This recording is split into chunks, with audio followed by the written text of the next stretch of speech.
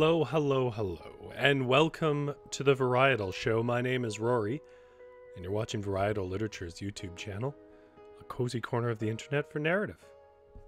If you're watching this live, you can join us in the live chat and throw in your own ideas for what we're doing today, because what we're doing today is we're using a solo tabletop RPG about herding cats to write a little to- story, little tale, something.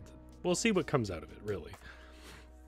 If you're not watching it live, though, the big benefit you have is you can run off and uh, down to the description and click on the timestamps to jump ahead to whatever interests you the most, even if you just want to hear what we came up with in the end.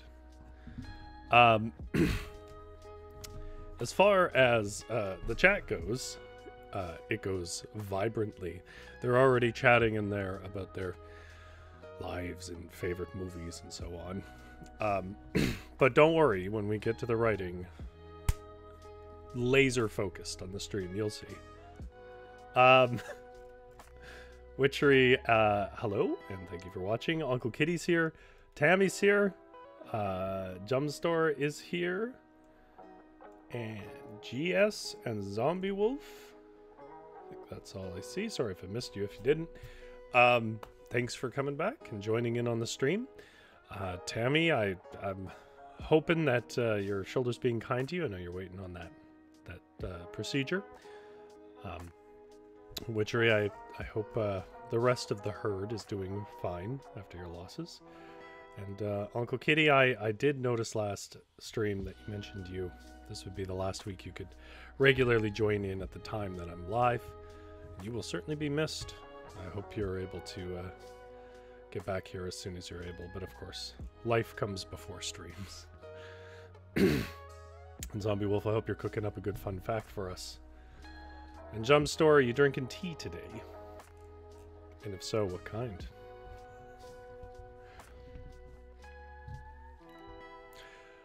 Uh, okay. Well, no reason for me to faff about. Let's get to this to the uh, subject of tonight.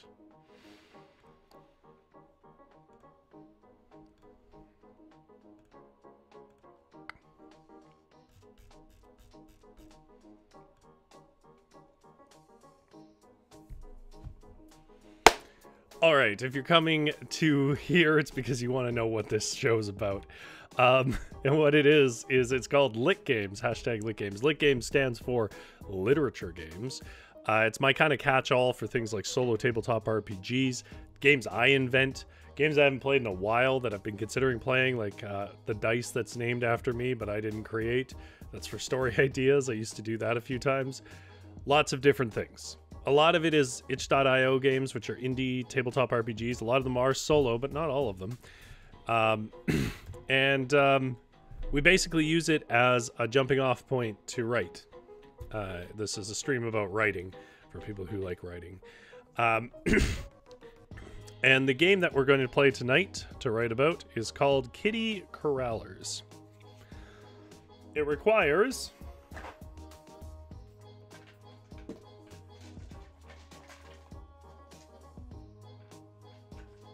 to find my dice. Where are they? Oh, they're there. They were all hiding in the corner.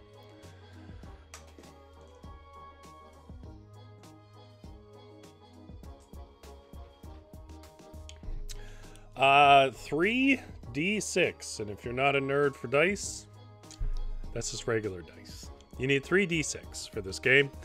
Uh, you really do need the three. You can't just re-roll one three times. I mean, I guess you could. You could write it down, whatever else, but it would be a lot more frustrating. Uh, Jumpstore says, I'm drinking tea by Numi called Turmeric Amber Sun. Sounds delicious. Uh, Jumpstore says, if you can have turmeric, I highly recommend it. I can. The, um, um, the rules of this game, given that the premise is just about, like, this silly little premise of taking cats across planes, I guess, um, are pretty complicated. And I've read them, I'm going to say about 10 times now. I'm not 100% I understand them all. Um, that might be down to me. That might be how they're described. Could be a little more straightforward. I don't know. but I did have a hard time wrapping my head around the rules. Uh, but, and I know Pathfinder, so it's not like I'm bad at reading rules. Um, but I would, um, I think I get the gist of it at least, front, in case anyone's worried. And also to sort of frame, if you want to make recommendations. No ill fate will befall any kittens. The game does seem to imply that can happen by some of its prompts. We're going to be ignoring that. It's not the kind of vibe I want for the stream. Um, if we, it, the game is premised around losing kittens, um, but that's fine. They go and run off and are happy hunting mice. Uh, anyways, you need 3d6. You're a wrangler of kitties. You start with a certain number of kitties. I'm going to do this on easy. We're not going to get through a whole game because you have to go through 10 prompts to go through a whole game, even on easy mode. Uh, and that's much longer than we have on this stream. Um, but you basically just sort of write about what happens based on the prompts you get, the same as most of these games work. It has its own unique things. We're going to build a character. We'll do a little round together just so that we understand it all together. And then we'll start writing. So let's make our character. By let's make our character, I mean let me drink some water.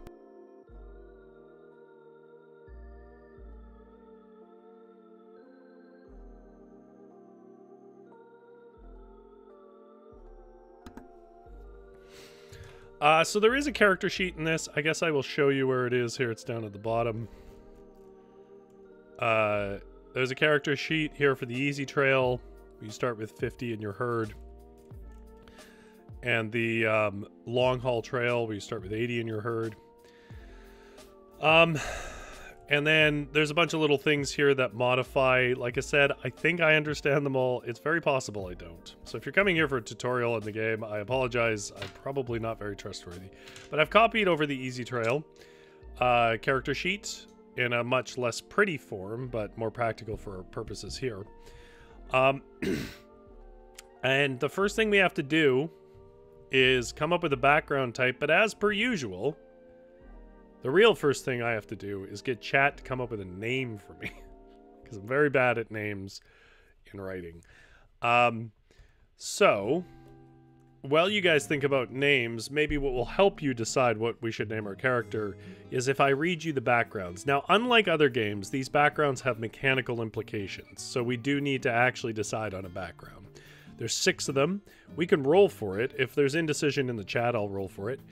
Um, but I'm going to read you our options right now. our first option is Wily. Thinks outside the box. Um, and then in the brackets, it has sort of some other things that might line up or describe that, like the old timer, the rogue, so on. A thinker, a studied approach, the scholar, the savant. Number three is fit, a physical approach the muscle, the gymnast, etc. Oh, Zombie Wolf says, what kind of creature are we, just human? Uh, it's not defined, I assume we're human. Um, that's what I know how to write. So depending on the choice, if we recommend something that's too far outside of that, I might be like, I don't really know how to write that. Um, naive, you don't know, uh, what you don't know can't hurt you. The youngster, the aristocrat, Number five is unnatural, a supranatural approach, so like a magician or a mad scientist or somebody in touch with the weave or whatever. Uh, and then number six, a naturalist, one with nature, a druid, a botanist, etc.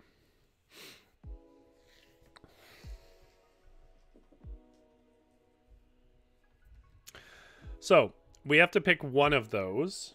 If there isn't like an obvious standout that people want to do, I will roll the dice and we'll decide it randomly. Um, but uh, I'll give you guys a chance to think about it. Well, I do a very brief description of how this works. So you guys can keep thinking about names and the tropes that you want our character to align to. So the way it works is that you start with um, a certain number of kittens in your uh, pack. every turn, some kittens are going to run off. Uh, it's designed so that that ha- will always happen. Uh, but you can do things to sort of get a bit of them back and so on. You can keep playing the game if you hit zero kittens, because actually, what that number represents, the 50 or whatever, is how many kittens you can lose that aren't the minimum number of your herd. So, in that way, it's kind of impossible to truly fail this game unless there is sort of a way that it happens, but it's unlikely. Uh, even if we get to zero, we'll still technically, in the fiction of the game, be returning with a herd of cats. It's just we can't lose any more than those 50. Um, the um, uh, the way it works is as we go forward, we're going to roll d6s, and we use them in a few different ways. So sometimes we just roll a d6, see what the results are, and then roll another d6 and see a little bit more and whatever else. It's a lot of rolling of d6s. But once you are on a prompt, an event, what you do is you roll 3d6, you choose two of those d6 and put one aside, but you don't toss it. You add those two d6 together, and that is your focus roll. Now, your focus roll can have modifiers on it and things that add to it and detract from it, and so on. But what your focus roll does is it informs this is what I mean by why I got lost. Well, it's probably better for me to just play around.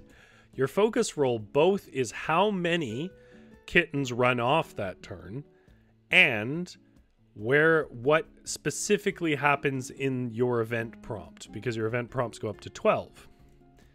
The way that you start to lose this game is if you hit 0, they start adding numbers onto that roll total and the number can get high enough that you will be your totals will be above the limit which is usually 12 so you see how the first event here in Mother Nature is formidable. Um, there's a result for 2 to 3, 4 to 5, so on, all the way up to 12. But there's modifiers that you can get building up on your sheet based on things that go wrong that add more numbers. And when you hit zero every time you roll, I think you're adding another one um, to that total, up to, I think, 10, which means that for almost any roll you make, um, you won't get any result because if you roll above 12, nothing happens. Uh, so you stop being able to play the game. So that took forever for me to figure out, by the way. um, but uh, I did figure out that's sort of the fail state of the game. Um, but the way, yeah, so the way it works is you you'll roll higher numbers get you better event results, but it means you've lost more kittens. So that's the push and pull of the game. And then your background can do more to modify that. And then there's some finer detail rules that I just don't think I understand, and so we're just going to have to push past them. okay, so let's see. Um,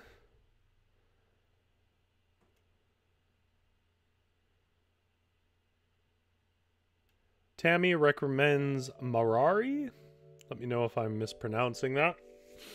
One thing I do know from knowing a bit about languages is that the English R, which I think is a R, but it could be wrong, uh, is actually extremely unusual. And so names, which I think that's a Hebrew name, um, may not use that same R, in which case I may be doing that wrong. Sorry if it's not a Hebrew name, it might not be just seems like it conjugated that way. Uh, Gemstore says naive. Makes sense that we'd lose those kittens. Okay. Gotta vote for naive. Zombie Wolf says wily. Could it be fun to see our character going to catch the kittens? That's that's true. Oh, GS says it's a Hebrew name as well. Okay. Um, well, maybe I'm right. Um, uh, Wiley Kitty.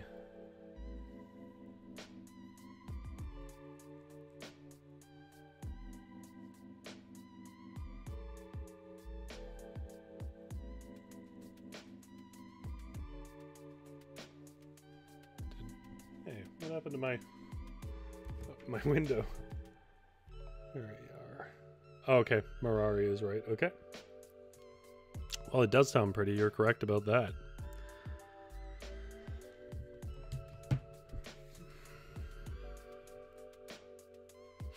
Okay, so we had a vote for Wily and a vote for Naive. I'll just do a, a coin flip for it. Um, red for Wily, blue for Naive. Sorry if I blew out the headphones. Bounced off my monitor. Maybe I'm just not coordinated? There we go. I got it that time. It's red, which I think was said was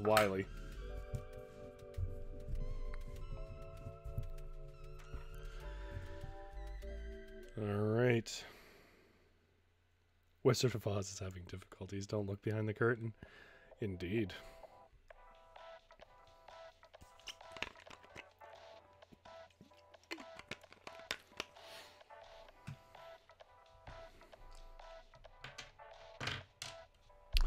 Okay, so our background type then is Wily, which we'll have to sort of make sense of for ourselves.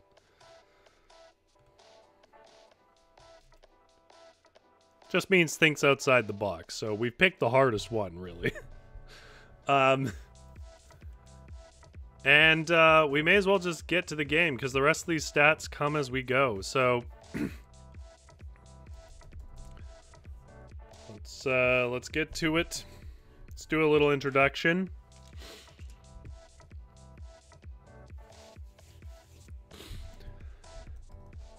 Mirari was winding her curls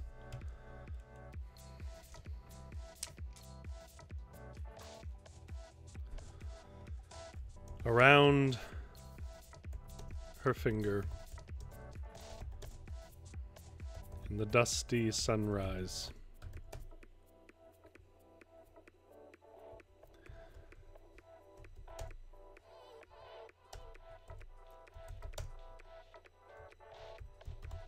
Cattle Meow Ranch. They actually have a name for the ranch, but I forget what it is.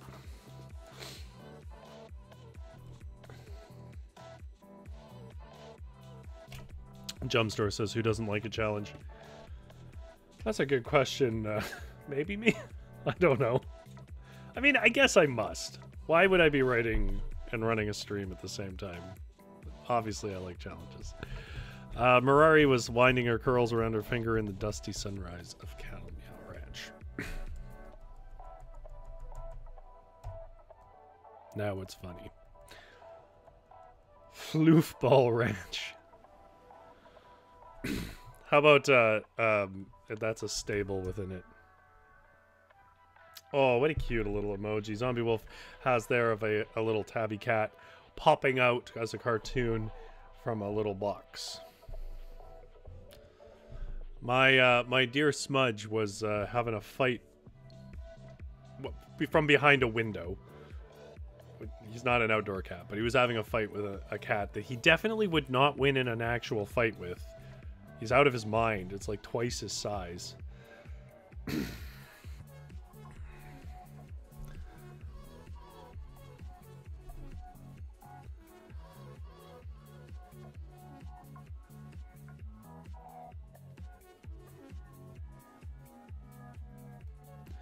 Uh, Mirari was winding her curls around her finger in the dusty sunrise of Meow Ranch.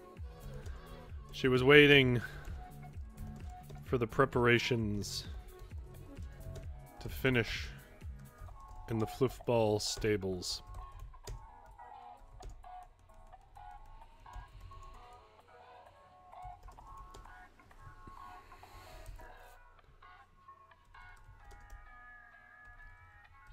Over on the eastern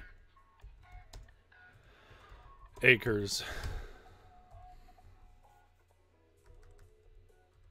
That looked that lined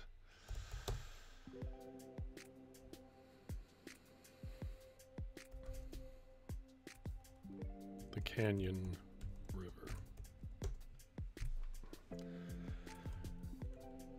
This would be. Is there like a an official name? I know Witchery does some. Well, I guess I don't know that you do ranching, but I know you have a farm.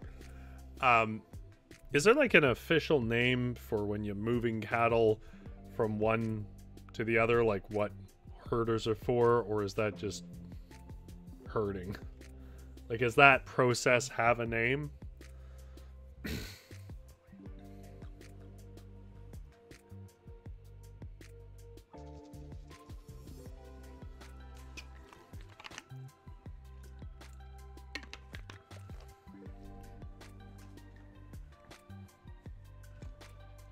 Cattle Drive. Thank you, Uncle Kitty.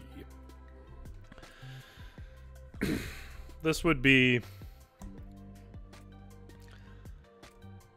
Mirari's first Kittle Drive? Is that too much? Kitten Drive? Should it just be Kitten Drive? Or are we going with the pun of Kittle Drive? Witchery says we call that droving, but I assume they meant to write driving. But if not, let me know.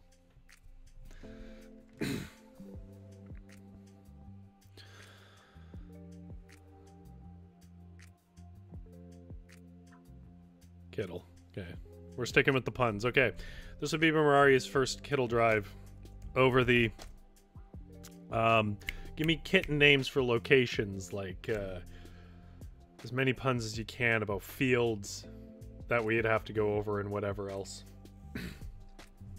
uh this would be Mirari's first Kittle drive over the plains of well this is pretty bad but cat uh,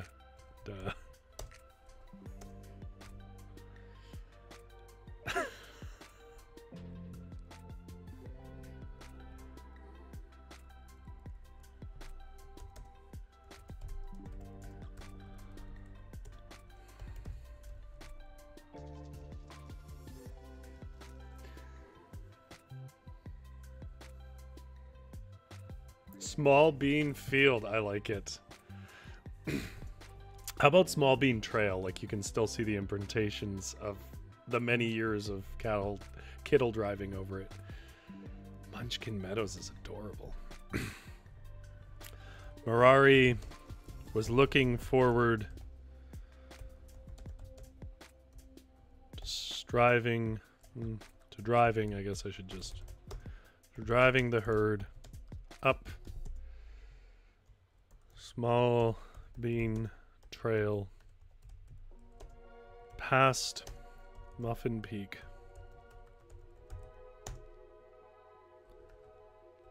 Uh, uh, across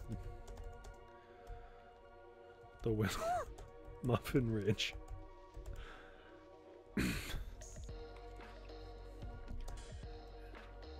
and down through feline flats till finally settling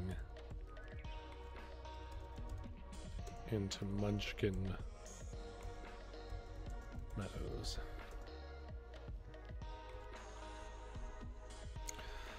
Mirari was worried how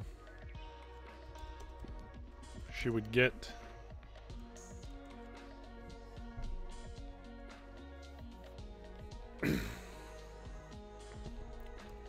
she would get the smaller kittens across Tiny Hiss River, which, in spite of its name, was a white water rush of ice cold of ice melt from Muffin Peaks. Are we even writing a story at this point, or am I just setting up really weak puns? Yeah. I agree, Zombie Wolf. They have the cutest little hisses.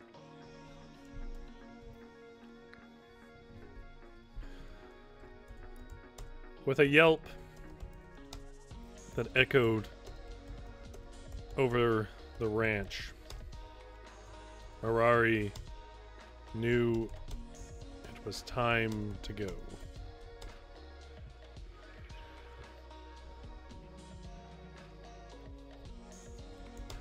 The day was a bit later than she had wished to be starting. That could be a much better sentence. She was starting a bit later than she had wished.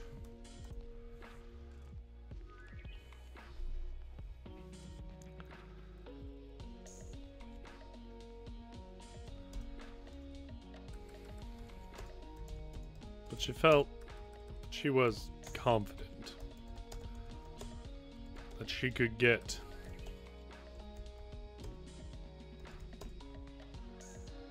the squirming, scurrying herd to the first camp. Mostly intact.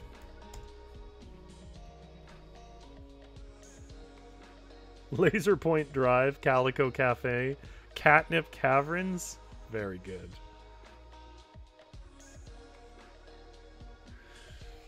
My cat only likes toys for about a week. And then he just is done with that toy for the rest of his life. So he was really into a laser pointer and then he stopped caring about it very quickly. And so then we just put it away for a long time, like years. And I took it out and for like two days he was like, oh my god! And then after that, he didn't care again.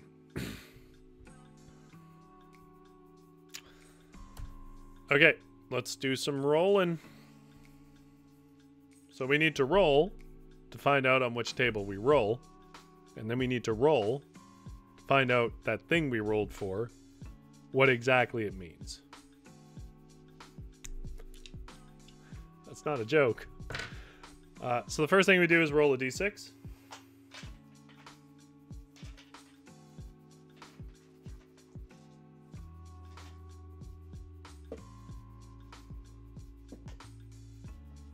Okay, I rolled a six, which means we roll on the events table three. So I'm rolling another one, and I got a five. Uh, the event is called Mass Hysteria. Now, before I even look at it, I roll all three.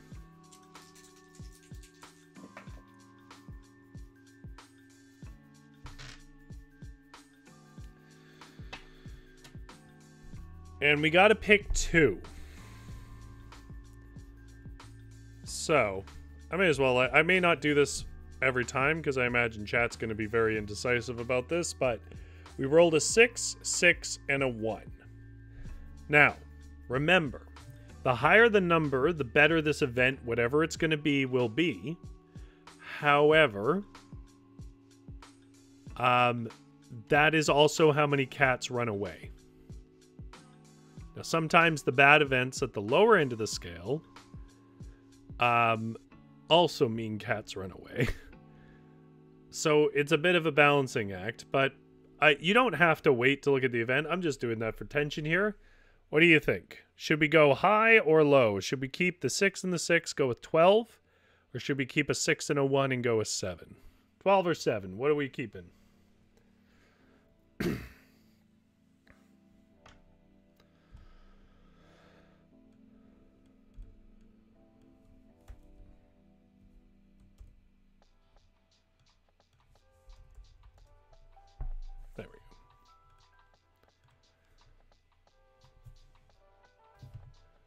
If Roy had rolled three sixes. Uh, Jumpstore says seven. Okay. And immediately after, Zombie Wolf says 12. Let's see if any consensus emerges. I'm going to wait a minute. I mean, this is not you guys aren't doing anything wrong. I just think it's funny because that's usually how it goes.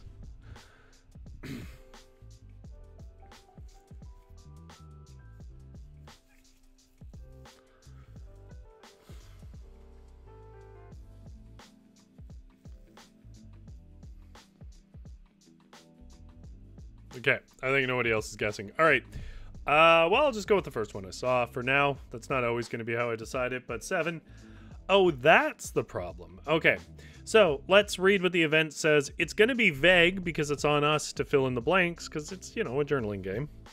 Um, why are the cats so riled up? Hackles raised and hissing everywhere. Better figure it out and fix it before things get really ugly. Okay, so chat, you're welcome to pitch ideas in here. Uh, what do you think has the cats riled up and hissing? Uh, the result that we went with, the seven, oh, that's the problem, but what's the fix? We will have to roll on a consequences table, but before I do that, we need to know what the problem is. Uh, and while we do that, I'm going to subtract the kitties that got away, which was seven. Makes this 43.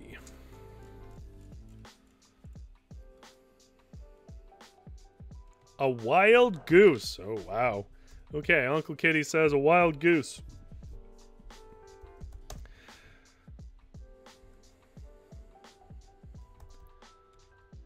The first to scurry off were the tabbies.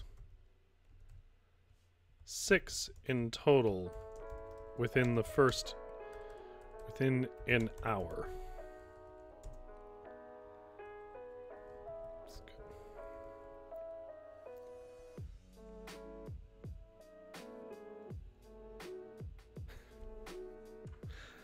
Witcher says, got to be a Canadian goose on this stream. Uh, I think I said it was Canada or something. What did I say? Canada? Yeah, Canada.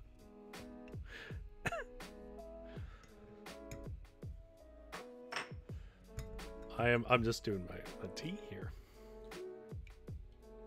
The reason I was a little late is I was waiting for my water to boil. So I've been waiting for it to steep. It's probably steeped a bit too long. 34 minutes is a bit of a long steep for tea. I forgot it was here. Also spilled some water, which is going to be really good because it's going to get cold very fast.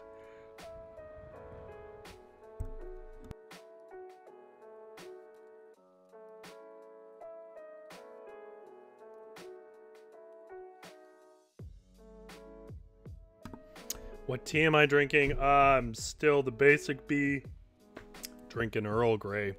I did uh, try to look up that tea recommended last week, um, Jumpstore, uh, the rose tea from Numi. Um, I couldn't find it at a price I could afford.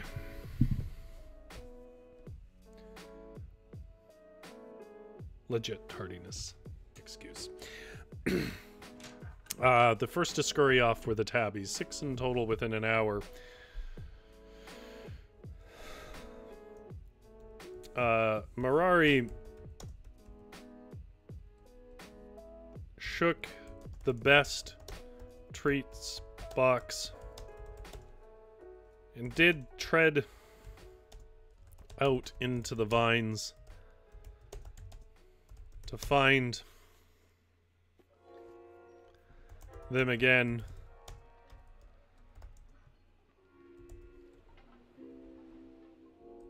However, she made it not 20 meters before the whole herd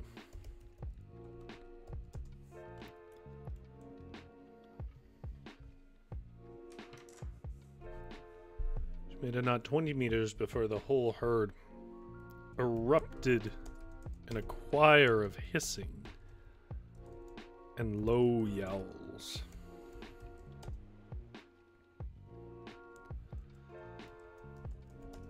Tabbies are probably just down in the catnip caves. I'll have to circle back later.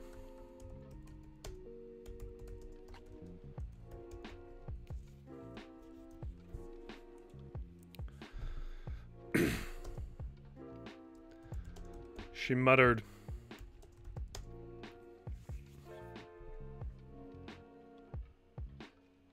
Rubbed her freckled cheek. Before rushing back up to the road. Amidst the herd of undulating silken fur. All fluffed skyward in supposed intimidation. Was the tall neck of a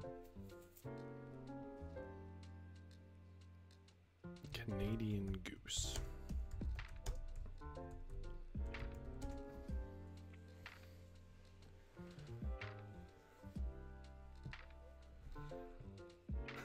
Tempted the cats with fish fudge. Yum.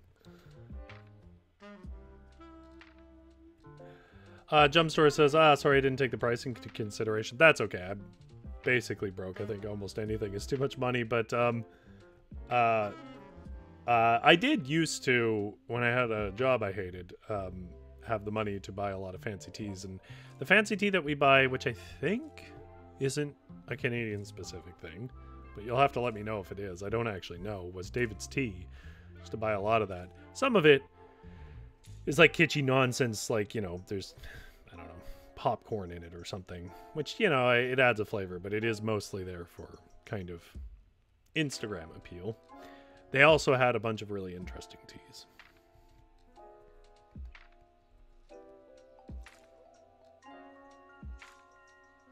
Oh yeah, Uncle Kitty, uh, Mushishi is the name, was the show. I did look into it more. Apparently there was two generations of that show. Um, and the version I was looking at art from was the first one. It was obviously not as polished, and I was like, I remember the show being more polished. And then I discovered that there was a second series, which also explains why that first season was a little bit confusing.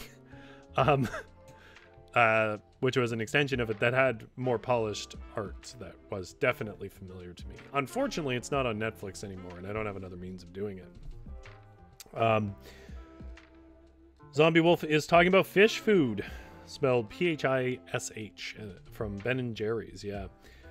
Um, which is named for the band Phish because Ben and Jerry are a bunch of hippies. And Phish is a hippie jam band. You know why I like Ben and Jerry's? A bunch of their flavors are certified gluten free.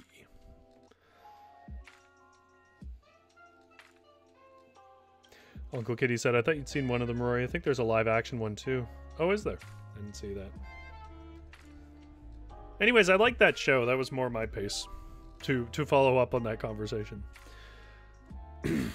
was the tall neck of a Canadian goose.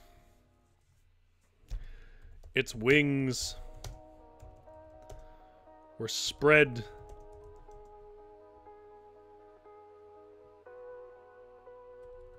with menace.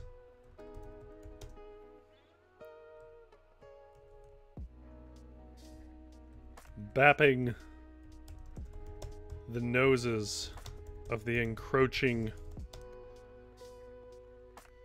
cats.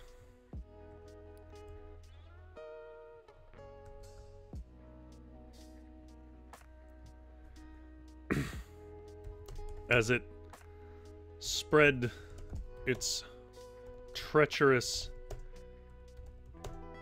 yellow beak open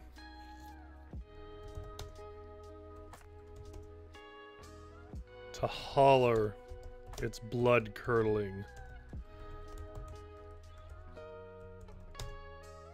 Howls.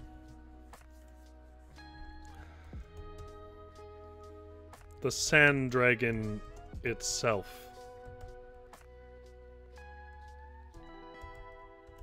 had come to harass Mirari's herd.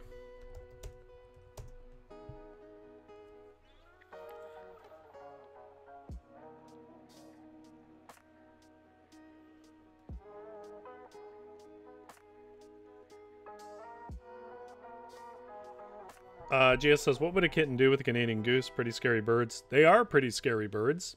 I will say that. But cats have no sense of their limits. None.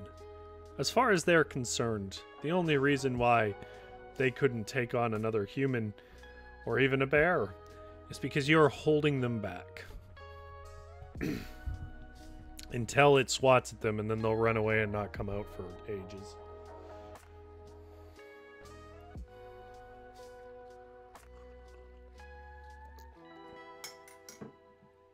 The one thing, like I've known geese since I was a very small child. They gen- there are Canadian geese for a reason. There's a lot of geese around here, um, at our beaches. but um, um, the thing that I'm I'm used to, but a lot of people who've come and visited and stuff are not are prepared for, is how big they are. I feel like you should know how big they are, but they they're pretty big.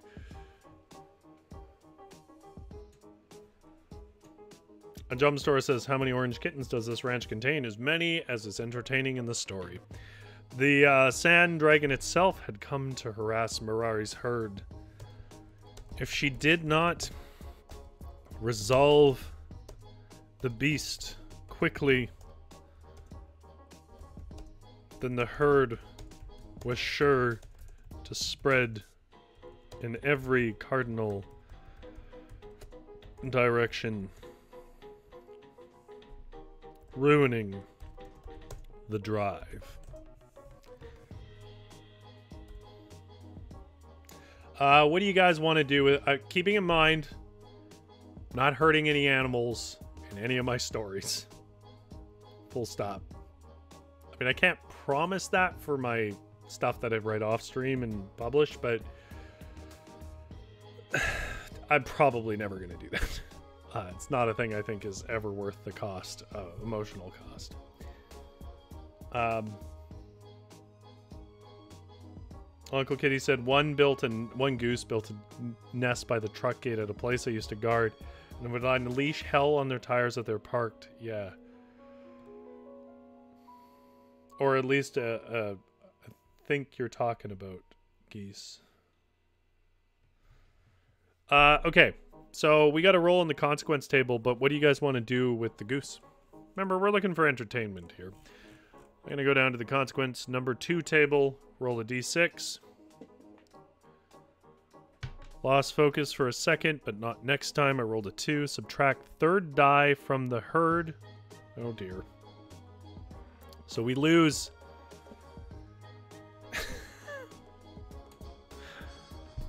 the six, anyways.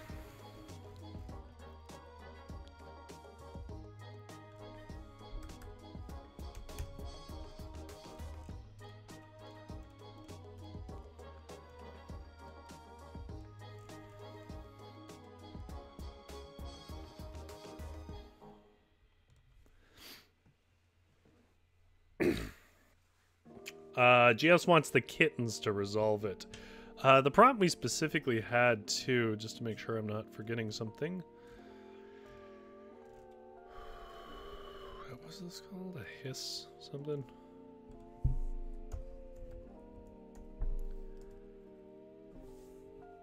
Was, oh, that's the problem, but what's the fix? Okay. Uh, so I guess the extra ones we lose are the ones that uh, run it off.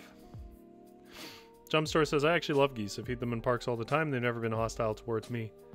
They've definitely been hostile to me many times. I don't really hate any animal for that, though. Um, they're animals. They don't know what we're going to do. There's probably people that like throw rocks at them that look, you know, roughly like me. They're just cautious.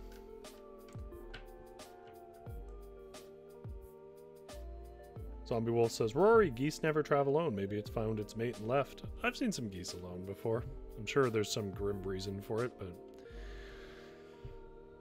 uh, but I do uh, I do like that concept.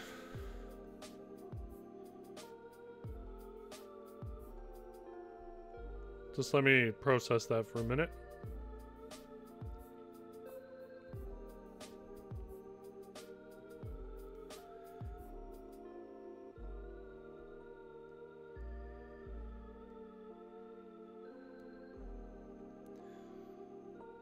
yeah, Uncle Kitty says geese are usually only aggressive when nesting, or hungry, or angry, or if you get too close to what they perceive to be their property, which is most of the water line of a lot of lakes in this area. They're just kind of unpredictable. Birds in general are pretty aggressive. Um, just usually they're scared because we're much bigger, but when, as birds get more on par with our size, you get to see that dinosaur nature. then the herd was sure to spread in every cardinal direction, ruining the drive. Mirari was not about to lose the herd, but a straight fight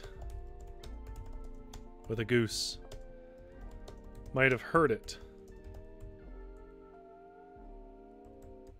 Or her.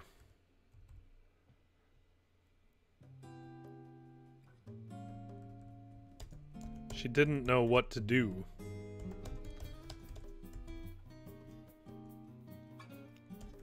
And in her hesitation, a few tabbies swatted at the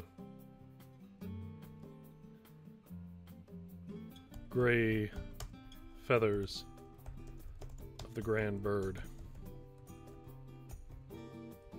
It responded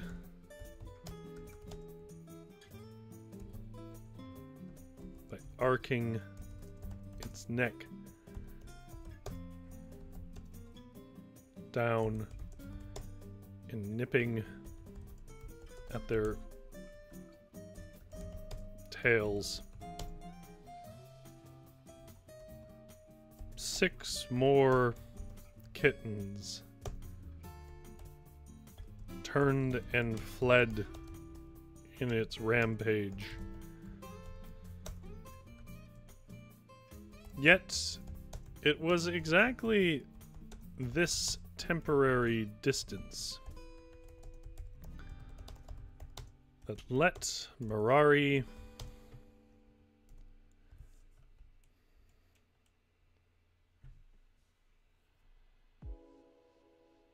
Uncle Kitty says be sure to feed them peas instead of corn, or corn instead of bread. Yeah. Try not to feed grains to birds.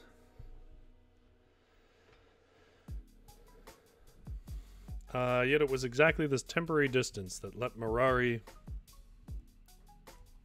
hear the bleeding cries of another bird over the other side.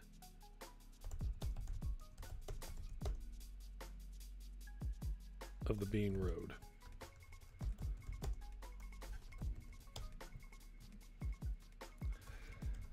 Before the great beastly bird could circle back.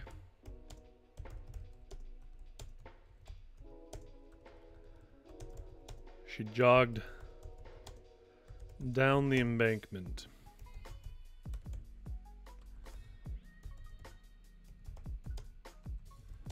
And found another goose.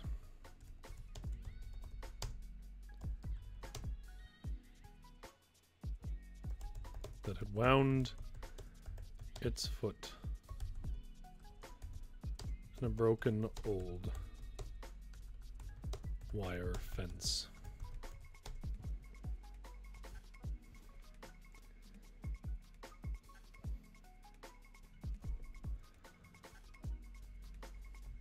Didn't look injured.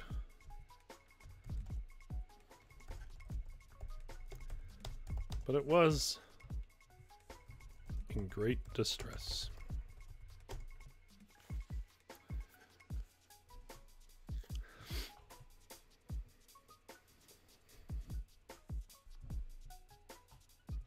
Does anyone have a favorite type of bird? I notice we're talking birds.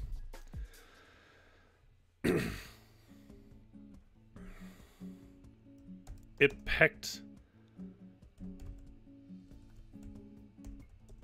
fluffed and batted its wings at the approaching cat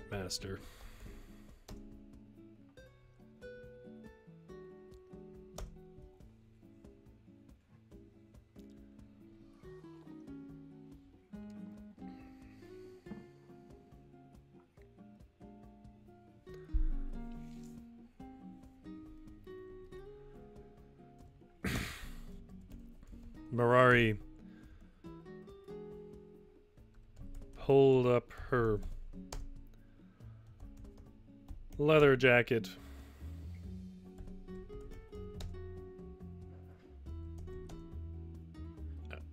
Has a shield. That's Smudge. I gotta make sure that Smudge isn't knocking stuff over.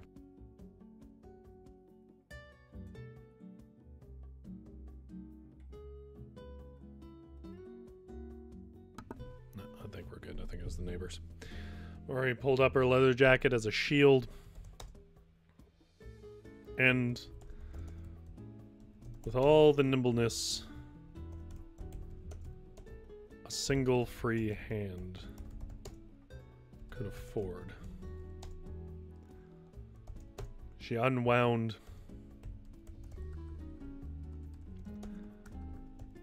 the second goose's foot.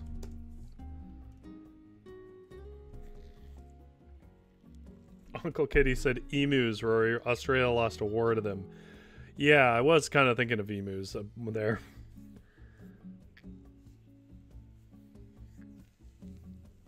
Ravens are cool, for sure.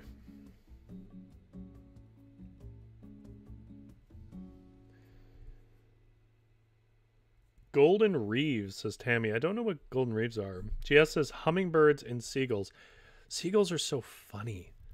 I know a lot of people really hate seagulls, and it's hard to argue against them. But Seagulls are very funny, but hummingbirds are just the dearest thing. Hummingbirds don't seem like they should be able to exist. Like, if hummingbirds. If we lived on another planet, and we'd never been to this planet, and someone wrote a story about how there was hummingbirds here and described them, we'd be like, yeah, right. Good good try. That's clearly not real.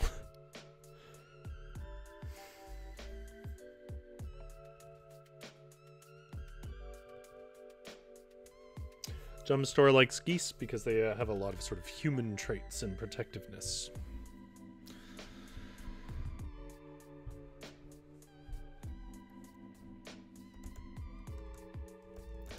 The bird was as grateful as a goose has ever been and showed that by charging at Mirari.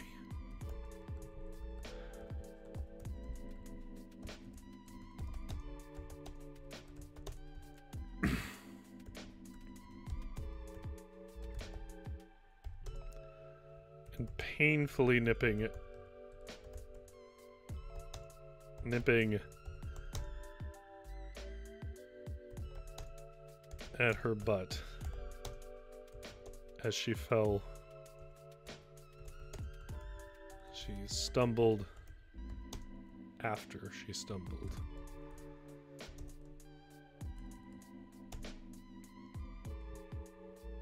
Ankles over ears. In shock.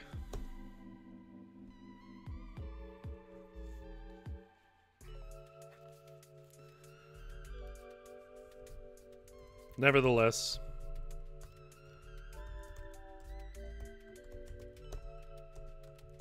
it quickly turned and took flight, joined soon after by the initial agitator.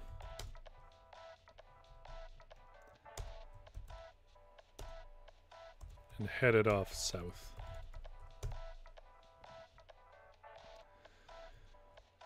Mirari lost about an hour herding back the kittens she could still find and pressed forward to make camp. The skies were clear out in oh what was that's not how you spell skies um neither is that. Out in oh, there were some good field names. I'm gonna have to scroll back up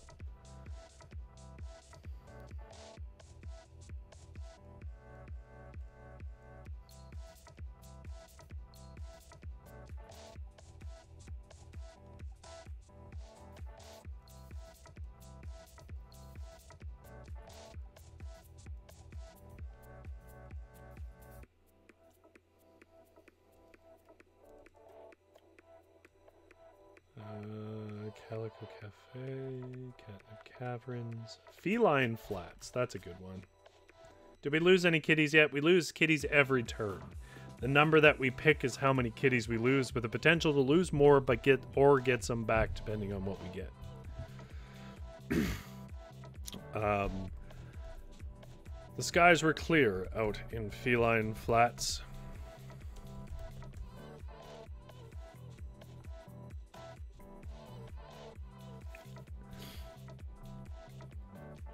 And as the day settled into a starry night, the kittens found so much reason to not sleep.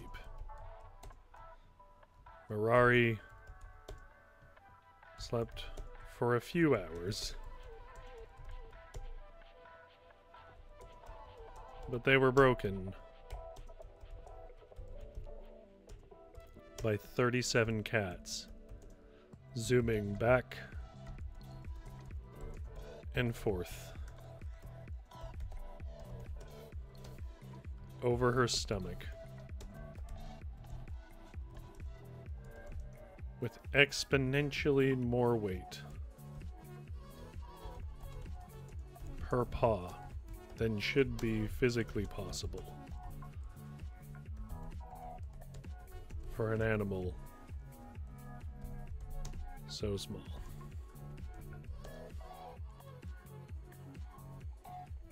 After a night of toe bean liver punches,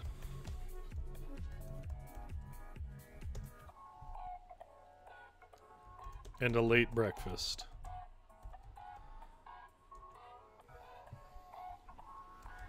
Given to a caterwauling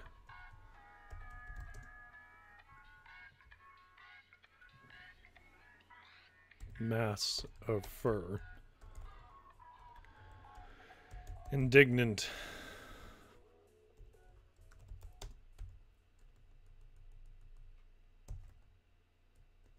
It had not come earlier.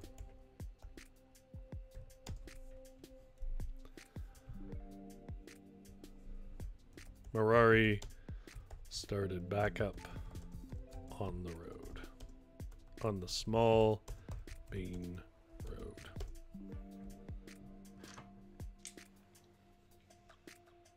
yeah, Jumpstore talks about how owning a cat increases your reflex speed. Uh, there's a thing apparently when you have kids too. That's a thing. I don't have kids or any intention to have them, but the um, um, I know that there's like the the parents get really good at like both reading when chaos is coming, but also grabbing their kid just in time. Uh, I'm lucky enough that Smudge isn't super destructive. Um, but um, he, he is a bit dumb.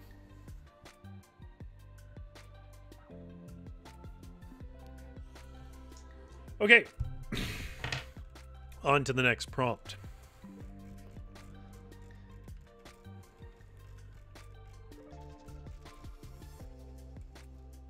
So, again, roll a d6. So, three. So, we're going to be rolling on events table two. Roll another d6. That's a four. Unfortunate luck. Now I roll three.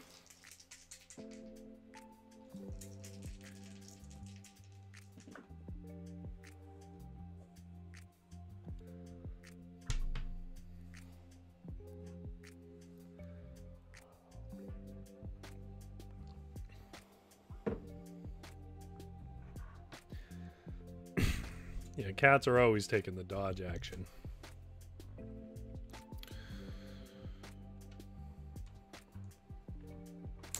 Okay. I don't know why I keep rolling double numbers, but I rolled two fives and a four.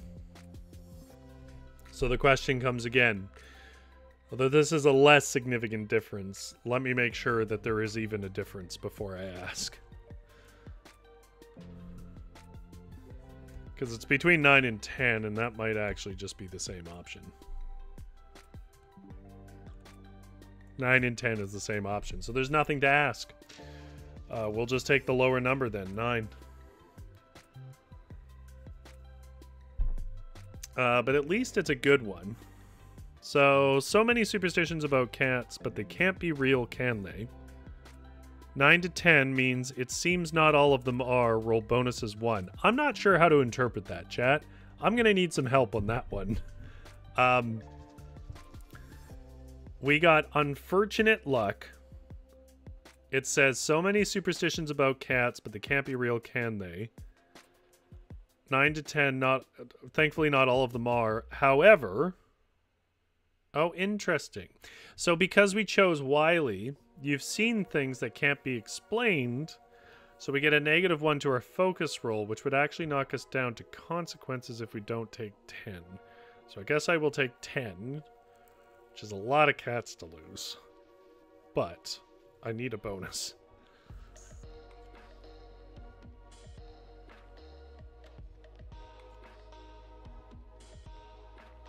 Yeah.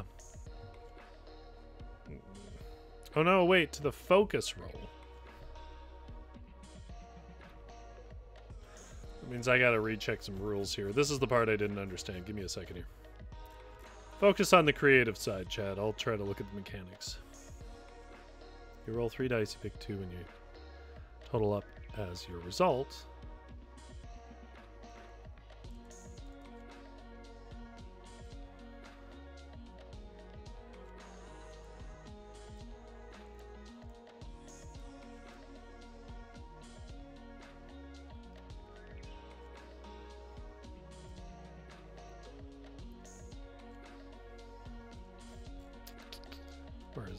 Told me about this.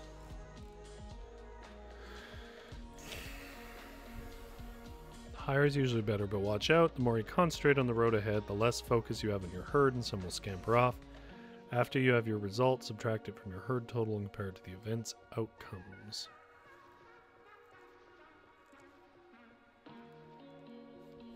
I can't remember where it tells me, and I, I it's not worth it. There it is. Plus 1 minus 1 to focus rolls means before subtracting the total from the herd. Plus 1 or negative 1 to result means after subtracting the whole total from the herd. I see. Okay.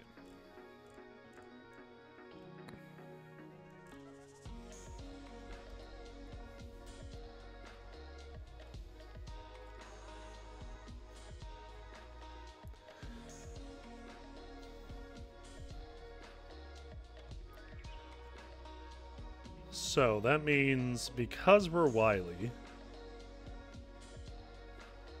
the focus roll is before subtracting from the herd.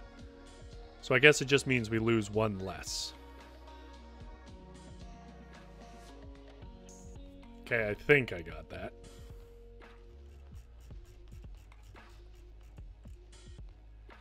Which would be 8 then, because I picked 9. So 29.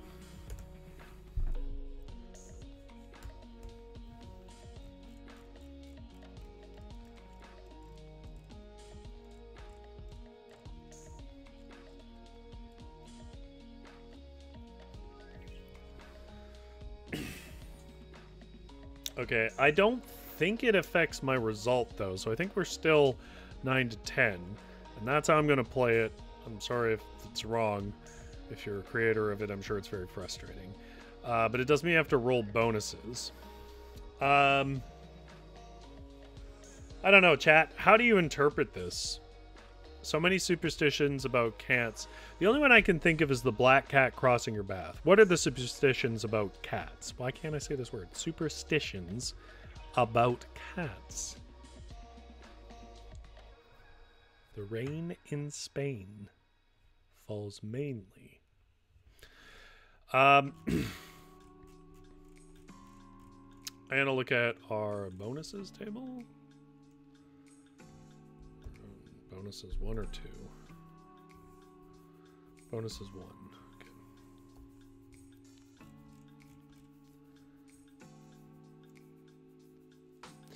Well, actually, I think Zombie Wolf, it's a buff to us. Despite the fact it being a negative, it means we lose less cats. So it makes it even trickier to interpret.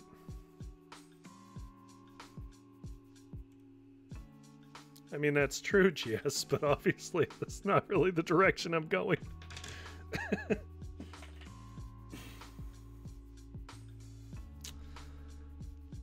uh, negative one to the next outcome numbers. That should make things easier tomorrow. Okay. So it's something that makes things easier tomorrow. It's a superstition that's not true.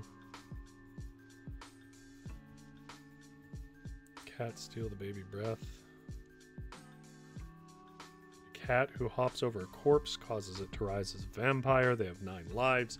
I guess it's going to have to be the bad luck thing, and the black cat's going to have to actually be good luck. Um.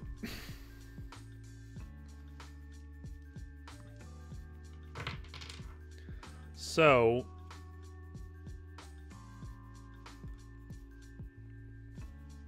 Uh, I guess I guess I, I have an idea for one. It's pretty straightforward, but I think it will work. Um, you guys are listing some, some superstitions I've never seen before, uh, like having a cat in a theater is good luck. I spent a lot of time in theaters when I was young, and I had never heard that one. Um, cats were thought to bring good luck to ships. Well, yeah, in the form of killing the rats. I suspect. Suspect. What is with S words in me today? kittens born in May have special powers. Well, that's not superstition. That's true. Um, after a night of toe bean liver punches and a late breakfast given to a caterwauling mass of furry of furry rascals who were quite indignant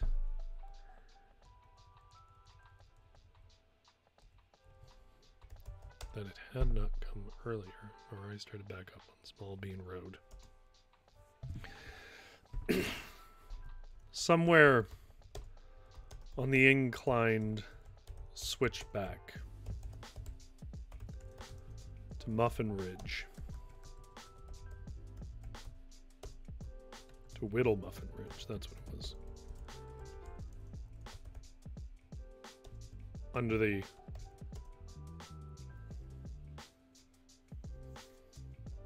towering peaks.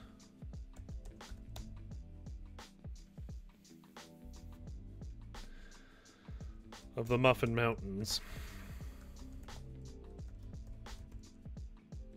I'm all for a better cat pun on mountains, by the way. The ship cat on the Titanic actually left the ship in Ireland Harbor and carried all her kittens off with her. Good job, kitty.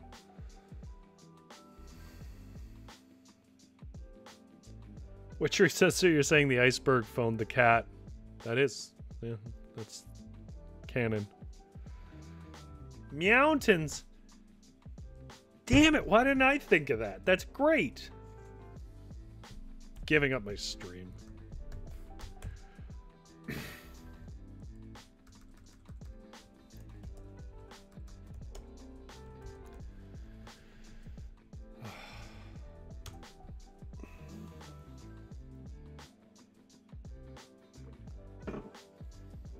By the way, speaking of cats, I mentioned that he was having a fight from the other side of a window like a hero.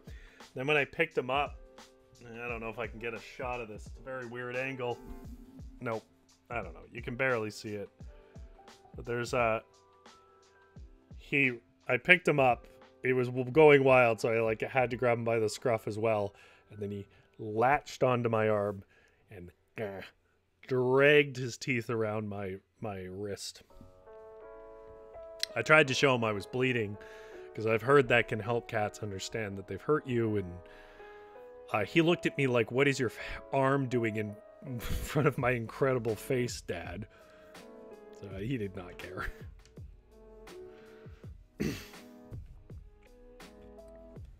okay, under towering under the towering peaks of the Rocky Mountains. Um,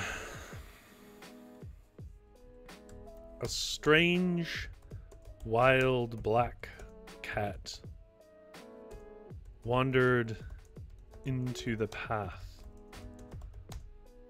of the herd. Its eyes were a bit more feral than the rest, but it was unperturbed by their hissing. It stood for a moment in glory, and Mirari thought to herself, quite unfairly, just what I need.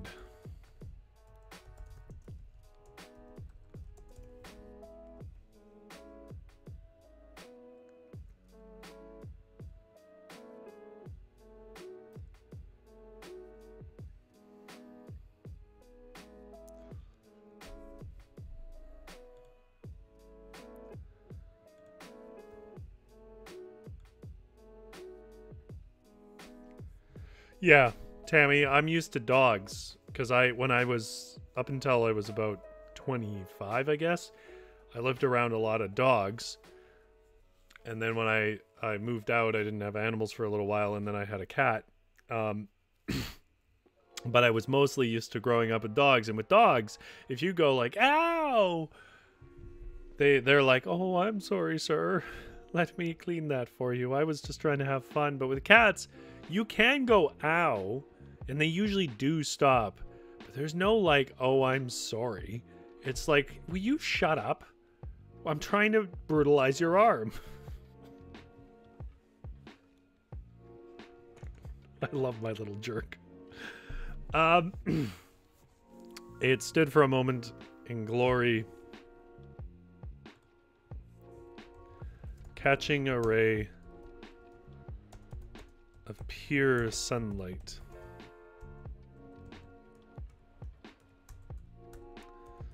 Mirari only thought to herself. Witchery says, Some of my cats apologize, but I am a witch. That is true.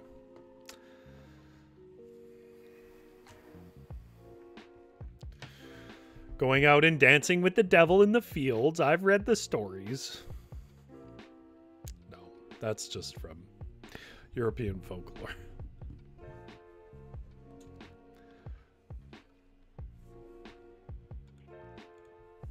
Just what I need. Bad luck.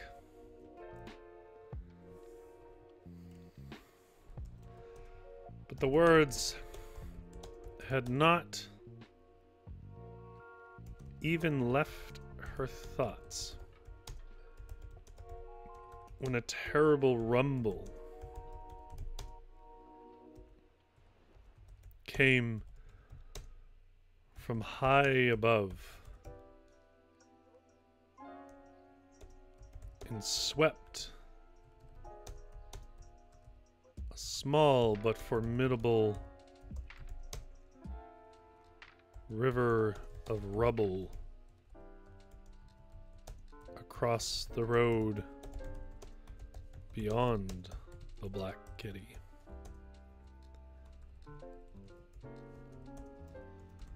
once this rebel made its fuss and settled off down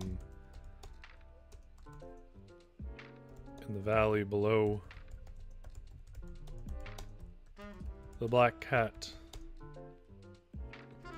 crossed off the other side and away into the woods.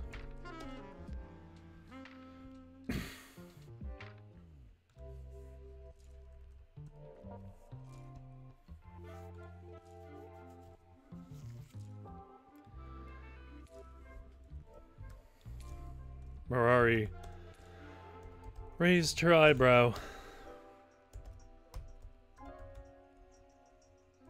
Then tipped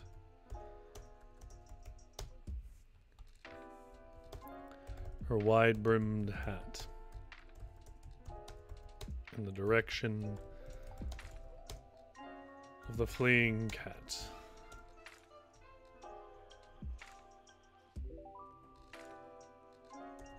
And said, My apologies for my presumptions. I appreciate your help.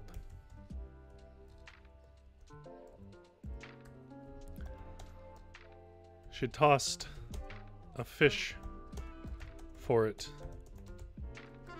into the underbrush. But this, unfortunately, caused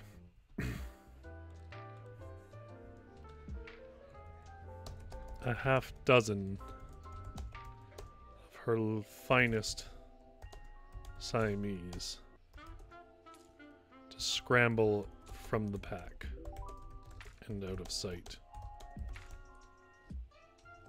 stealing the fish as they went.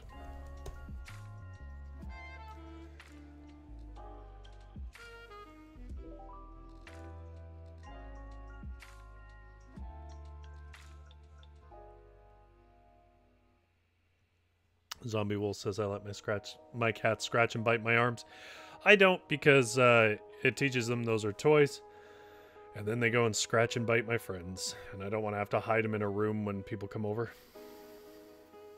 I don't like hit them or anything like that though, or spray them, or I don't really use punishment in general because I have enough knowledge about behaviorism that I don't need to. But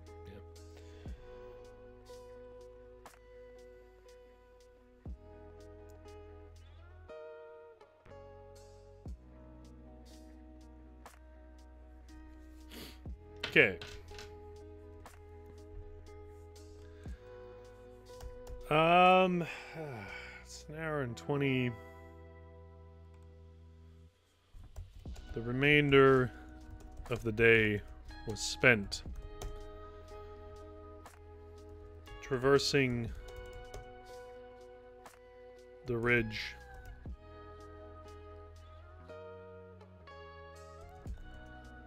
with emphatic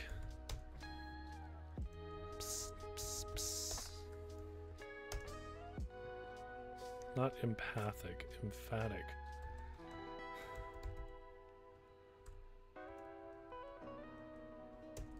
Sounds hissed out when the wilder ones. Zombie Wolf says, Well, Rory, the easy solution is to just not have friends. Fair enough.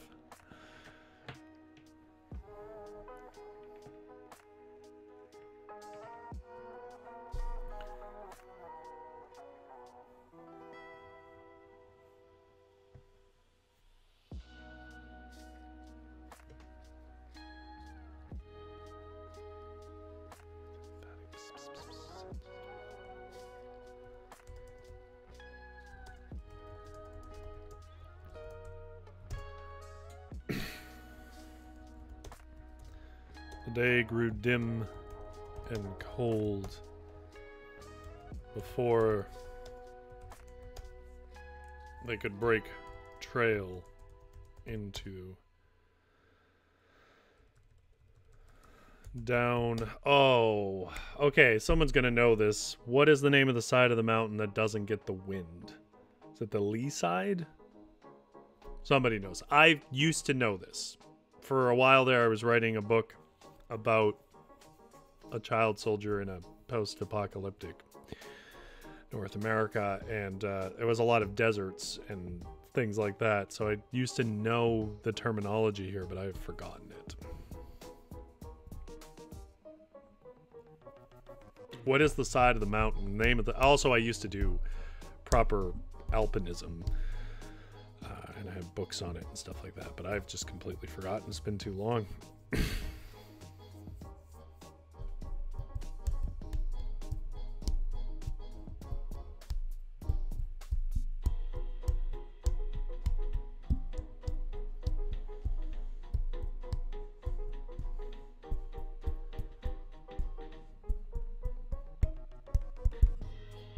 the dance break with Rory. Leeward side.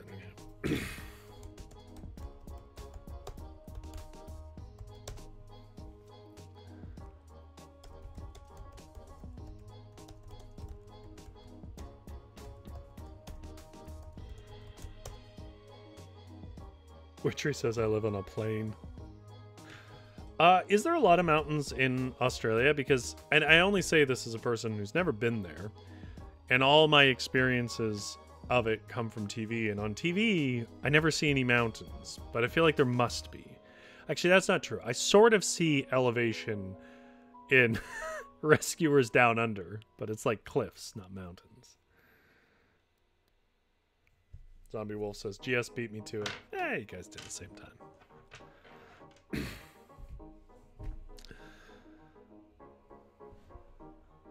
The night was spent in a puddle of cuddles as each of the herd kept each other warm and Mirari as well. There are mountains down on the eastern coast and some elsewhere. Tasmania is incredibly mountainous. That's the southernmost island? Or is it a province? Isn't there a special rock in Australia? I mean, there must be. Any prominence in a land gets significance over the 50,000 years we've been wandering around them. A cluster of kittens is actually called a cloud. How cool. The next morning would prove the toughest so far.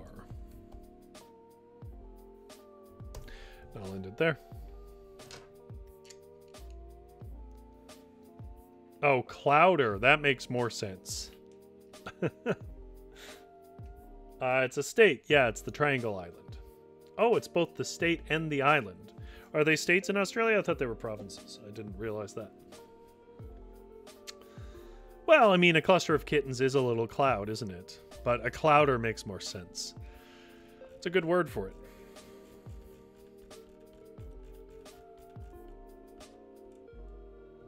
Alright. Let's see what we came up with. We got through a decent amount. Um, got through two which is more than we normally do. It's a state and the island. Hmm. I, uh, you have states and territories. I did not know that. Is Australia a republic? I thought it was a colony like uh, Canada. Yeah, it doesn't matter. This is completely irrelevant. this is just my own curiosities. Oh, it's a federation. Okay, I didn't know it was a federation. That's news to me. Cool.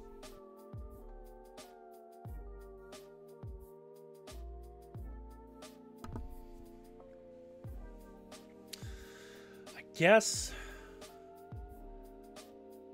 I guess Canada's a federation too, isn't it? Somebody tell me if I'm wrong about that, but yeah, our founding is called Federation Canada, so that makes sense.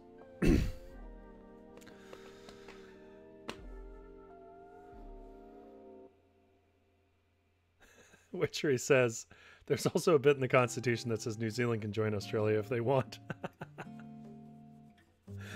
I think New Zealand's probably doing pretty well for themselves, eh? Uncle Kitty says Australia is always portrayed as so terrifying. You know, the thing about that is all these places that are portrayed as terrifying, the Amazon, whatever else, it's only going to be terrifying if you didn't grow up there, right? Like, it's like here. You know, there are areas of BC where you can see like moose or you can see bears. It's really unlikely that you live here and you don't see a bear at some point or a cougar. And they're scary, I guess. But also, because they're around and you grow up around them, you know what to do for the most part. You know what to avoid, you know where not to go. Um so, you know, you just you just don't do those things, you know. You don't run through hot dry fields in the east of BC because you might hit a rattlesnake or whatever else. Like things that you do. now, are there things that are even if you grow up there, it's going to be a problem? Yeah, but they're not the things that people tend to be afraid of. They're things like mosquitoes with, you know, dengue fever or something like that. But for the most part, with a few exceptions, most animals and bugs all avoid each other. The way that I like to put it is if you ever watch a nature documentary of like the savannah or something like that, they'll have these predators and these prey, and they mostly just hang out in a field together and don't do much to each other. And that's kind of the way it is too. Like you'll go hiking and you'll see a cougar up on the ridge and you know it's following you because that's what they do. But you were smart enough not to go there alone and you don't get separated and you don't, you know, tread into certain areas and you never really have a problem.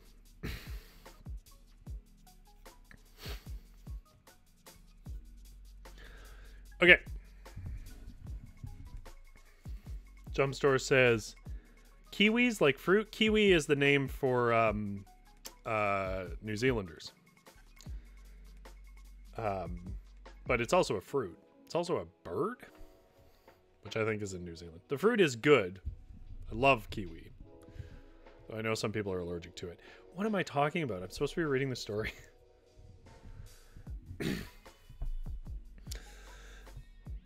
if you're coming to this part of the stream, it's because you want to just know what we came up with. And what we came up with was based on prompts from a solo RPG game, tabletop RPG game, called Kitty Corrallers. Let me get you up to the front page so you know what it looks like. Um, Kitty Corrallers is a uh, available on itch.io. I should have it linked in a comment below when this video is no longer live if you want to go and deal with it. Of course, as I all mentioned in the comments, I don't have any association to any creators of solo tabletop RPGs at this point. These are just things I find that I think are fun to play on stream. Uh, it's like a 3d6 system where you basically get prompts, and those prompts um, give you more prompts and then you write sort of events around them. And what we did was we uh, wrote events around our character, Mirari, who is a human um, who is herding a bunch of cats across the land to the next, you know, the next ranch. and, anyways, I'm going to read you that story now.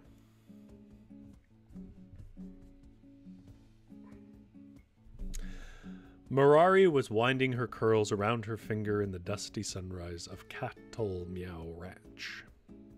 She was waiting for the preparations to finish in the Floofball stables over on the eastern acres that lined the Canyon River.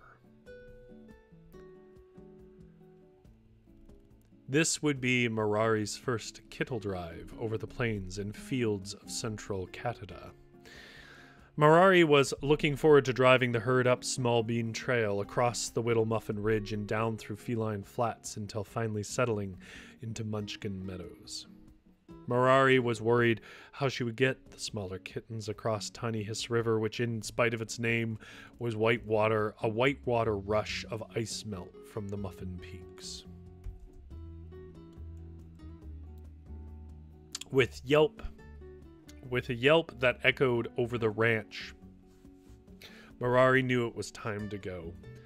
She was starting a bit later in the day than she had wished, but she was confident that she could get the squirming, scurrying herd to the first camp mostly intact. The first to scurry off were the tabbies as they traveled along the road. Six in total within an hour. Mirari shook the best of Treat's box and did tread out into the vines to try and find them again. However, before she could, she made it not twenty meters before the whole herd erupt in a choir of shh, shh, shh, and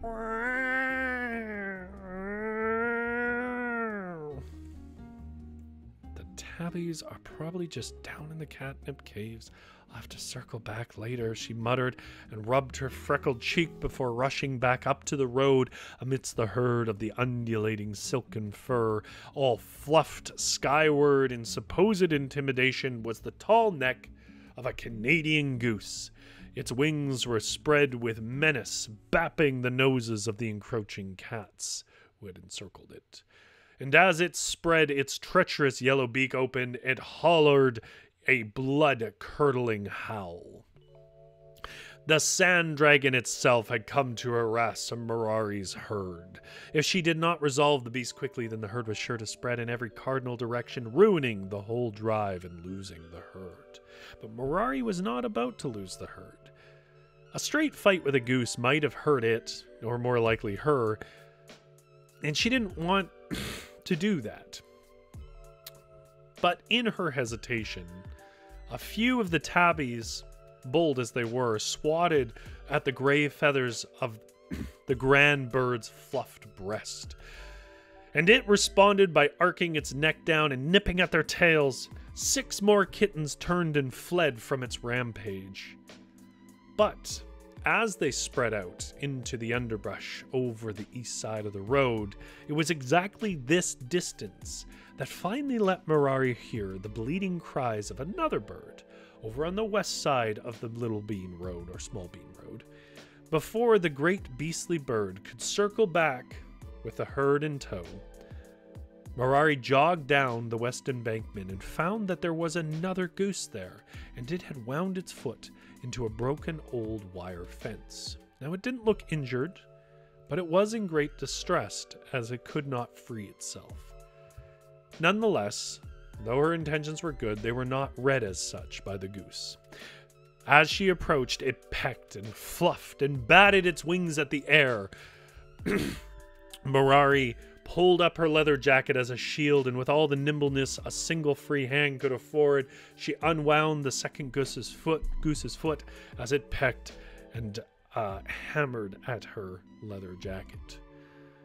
The bird was as grateful as a goose has ever been when it was freed, and it showed that gratitude by charging at Mirari and painfully nipping at her butt after she stumbled ankles over ears in shock. Nevertheless, it quickly turned and took flight, joined soon after by the initial agitator, and headed off south. Mirari lost about an hour herding back the kittens she could still find and pressed forward to make camp. The skies were clear out there in feline flats, the northern ones. And as the day settled into a starry night, the kittens found so much reason to just not sleep at all.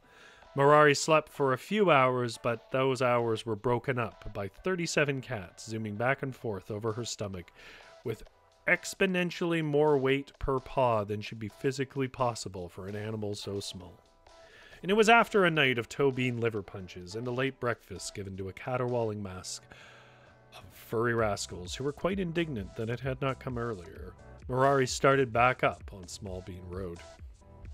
Somewhere on the inclined switchback to Whittle Muffin Ridge, under the towering peaks of the Rocky Mountains, a strange wild black cat wandered into the path of the herd. Its eyes were more were a bit more feral than the rest, but it was unperturbed by their hissing. It stood for a moment in glory, catching a ray of pure sunlight on its glossy fur. Mirari could only think to herself, quite unfairly, really, just what I need. Bad luck! But the words had not even left her thoughts when a terrible rumble came from high above and swept a small but formidable river of rubble across the road beyond the Black Cat. And once this rumble made its fuss and settled off down in the valley below, the Black Cat crossed the rest of the way over to the other side and away into the woods.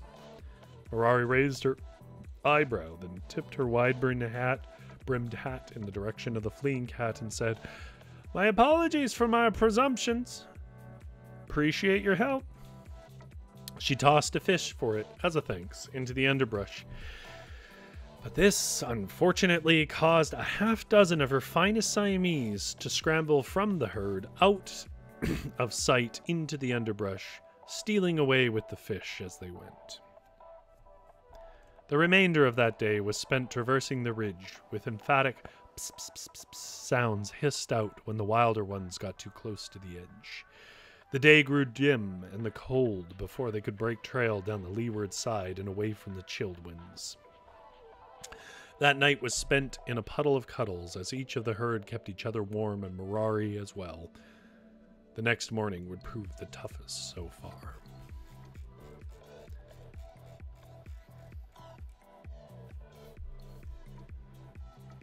Yeah, Witchery points out hunting is a waste of energy. If you can't kill the prey, better to wait.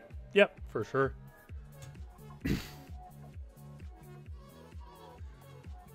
um, people seem to think that predatory animals are always are just always hungry. I blame Disney for this. And then Witchery points out um, that predates Disney. I mean, if anything, Disney is picking up on folklore. Uh, there are people that think that maybe wildlife used to be more aggressive, so it might have been different. But folklore really really paints predators as just being constant menaces. Uh, and Uncle Kitty points out ticks in Ohio are the uh, and copperheads are the copperhead's not a small problem. Just rare.